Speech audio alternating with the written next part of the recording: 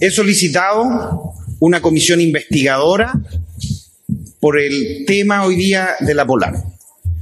Hemos solicitado una comisión investigadora para hacerse cargo hoy día de los eventuales fraudes, falsificaciones e incluso contrabando que hoy día estaría involucrando a la empresa multitienda La Polar.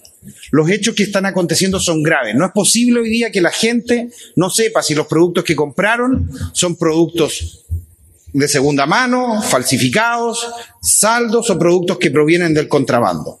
Estos hechos deben ser investigados y es por eso que hemos solicitado la creación de una comisión investigadora para recabar todos los antecedentes que puedan existir en una situación que afecta a millones de consumidores en nuestro país.